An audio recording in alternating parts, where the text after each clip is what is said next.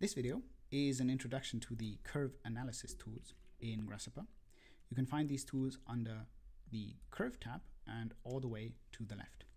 Before going through each of these um, individual components in a following video, I want to give you a quick primer on three important concepts that you need to understand whenever you're using any of the curve analysis tools. And that is the curve domain, the curve length, and the curve parameter, and how these concepts kind of interact, how they differ, and uh, what to look out for.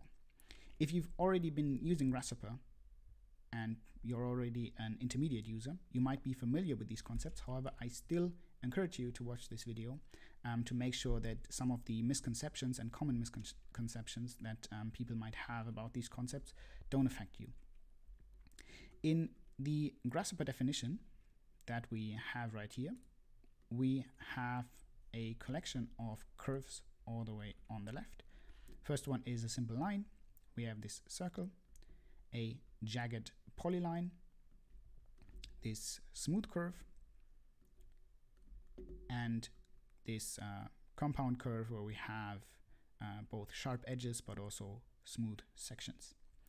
And if we now look at the first concept, the curve domain, we can use the curve domain component to look at the domain of each of these curves. So for this closed compound curve, the domain goes from 0 to 949. Uh, this smooth curve has a domain from 0 to 810. The polyline and the circle also go from 0 to a seemingly arbitrary number. And one might be led to believe that this domain actually corresponds to the length of the curve. And for some curves, this is actually the case. So for example, the circle has a domain from 0 to 631, and the length is also 631. However, there are other curves, for example this line, where the domain only goes from 0 to 1, and the length is actually much longer. And there are other curves, for example, this um, smooth curve we have right here, that go uh, that have a domain that go goes from 0 to 810, and the length is only 654. And this is kind of the first misconception that you um, uh, that I want to clear up is that the domain does not correspond with the length. It might, it can in some instances, but it's um, usually not the case and you should not uh, use the domain and the length of the curve interchangeably.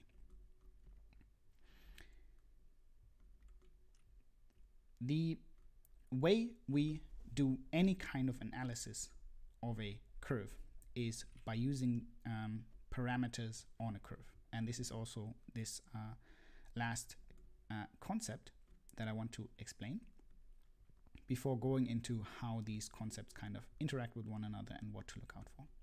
So if we look at this uh, evaluate curve component, then we see that we need a curve and a parameter to actually get a point on a curve. And this parameter needs to be within the domain of whatever curve we have uh, attached to the component. In this case, for example, we have 0 to 949. Let's take uh, this curve that has a domain from 0 to 810. And I have this number slider here that goes from 0 to 810. And so I can plug in this number slider into the evaluate curve component. And if I now go through this number slider, you can see 0 is the start of the curve, whereas 810 is the end of the curve. Now, this is of course quite annoying. Each curve has a different domain and if we would want to iterate through the curve with a uh, number slider or any other kind of uh, way of creating numbers, we would always need to make sure that this is uh, within the domain of the curve. So we would always need to have uh, we would always need to have the domain of the curve as some sort of input here and make sure that uh, this is what we can use. And as soon as the curve changes, for example, we have this curve here, then of course um, the domains that we have here would not correspond anymore. And to use any kind of curve and evaluate any kind of curve, we have the possibility to reparameterize a curve. And we can do this, for example, on this curve param under uh, with a right click and selecting reparameterize. We could also do this on any input or any output of a component that um, has a curve as its input or output. But in this case, I will use this uh, um, uh, curve param component. And now you see that the curve that before we reparameterized it had this uh, domain from 0 to 687 and now its domain goes from 0 to 1 and this is now the case for any curve that is reparameterized and so this gives us the possibility to uh, evaluate a curve and to look for parameters on a curve um, no matter what kind of length or domain this curve might have so now I can add a number slider from 0 to 1. And if I now evaluate a curve at any of these points, we can actually see that uh, uh, we can go from 0 to 1 and 0 is the starting point of the curve and 1 is the end point of the curve. Now, even though we reparameterize the curve, that does not mean that um, parameter 0.5 is the middle of this curve. And we can check this with the component length parameter. And this component uh, takes a curve and a certain parameter and then gives us the length from the start of the uh, from the start of the curve to the parameter that it's given and the length from this parameter all the way to the end of the curve. And right now we have the parameter 0.5 and we have this jagged polyline and we can see that parameter 0.5 is actually the middle of this curve. So um, from the start to parameter 0.5 is 343 as well as uh, and 0.5 to the end of the curve is actually the same length. However, this is not the case for other curves. For example, this uh, smooth line where parameter 0.5 is not the middle of the curve and instead it's uh, it's uh, slightly before the middle of the curve. So um, from 0 to parameter 0.5 is 306 units and from 0.5 to the end is 347 units. Now, if we actually want to get the middle of a curve, we have a few ways of doing that. We can either use the curve middle component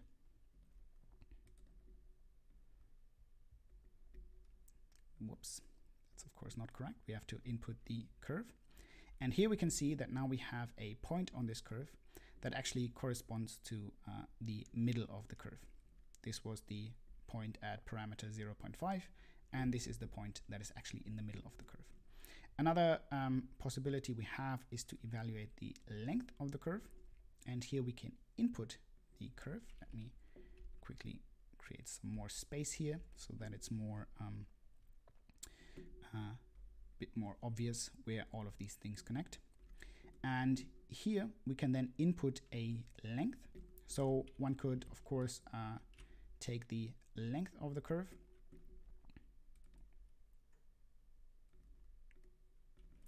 divided by 2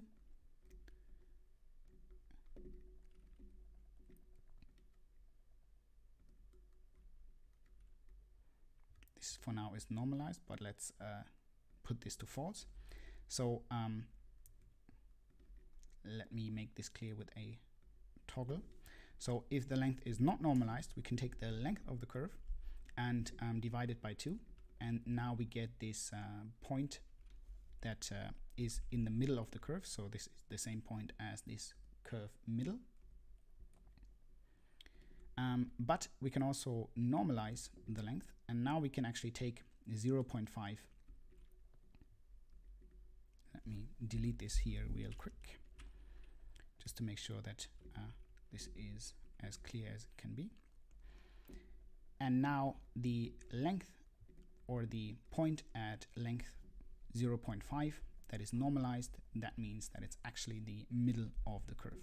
And so we could also for example use the um, 0.25 if we want to, for example, have the first quarter of the curve. And here you also see that the um, parameter 0.25 is not the um, first quarter of the curve, but instead a, uh, a different position. Now, the last concept that I want to show you is um, what happens if we evaluate a curve at a point that is not within the curve domain. For that, I will hide these here and also uh, drag them down here and actually get a number slider that does not go from 0 to 1 but instead it goes from 0 all the way to 3 and now if I use this as our input for the um, evaluate curve component and we have a look at the point we can see that all the way up to 1 of course our curve is um, is uh, evaluated. But as soon as uh, parameter 1 is or the parameter is larger than 1 and since we have a reparameterized curve it only the domain only goes from 0 to 1 we can actually see that this uh, point leaves the curve and uh, seems to be doing something different. So now this is not a point on the curve anymore but instead it is a point that um, where grasshopper kind of guesses where this curve might go so for example in a straight line this is simply uh, it simply um, extends the line in a straight in a straight line. Um, for the circle, it still stays on the circle simply because it, it basically uh, extends the the curvature of the circle. So it, it, even though we we are at a parameter that is larger than the domain, we are still on the on the circle. Um, for the jagged polyline, we actually leave this polyline, and it's also um, yeah the curve is also extended in a straight line. And um, for the closed line we actually don't follow the line. So this is not the same as with the circle. So if we have a closed line even though um, we might think that um, for example parameter 1.5 might be the same as parameter 0.5 instead the curve is also extended after um, its its endpoint and um, uh, the point that results from the evaluation is actually not on the curve anymore. So this is also something that you need to look out for and need to understand whenever you're using uh, the evaluate curve component. So let's quickly recap. We have curve domains. Each curve has a domain. If the curve is not reparameterized, this domain might be still be between 0 and 1 in case it's a line it might be between um, 0 and the actual length of the curve for some curves, for example for circles and um, polylines. However, it's not the case for many other curves and so you should really not um, uh, use the curve domain and the curve length interchangeably. If we evaluate a curve, we want to evaluate it at a certain parameter and in order to make this easy for us, we use the uh, reparameterize function on a curve to make sure that the domain goes from 0 to 1 and so parameter 0 is the start of the curve and parameter 1 is the end of the curve. The even though the curve is reparameterized, parameter 0.5 is not the middle of the curve or not always the middle of the curve. For some curves that's the case, but Still, since uh, this is not the case for all curves, you should not uh, uh, confuse parameter 0.5 in a reparameterized curve with the middle of the curve. And instead, we can either use the evaluate length component or we can use the curve middle component to really make sure no matter what kind of curve we input into our definition, uh, we actually get the, the middle of the curve and not just uh, parameter 0.5. So I hope this was uh, clear. If you have any questions, you can either leave them below this YouTube video or um, contact me in other ways. And in the next video, we will actually look at the uh, analysis components for curves.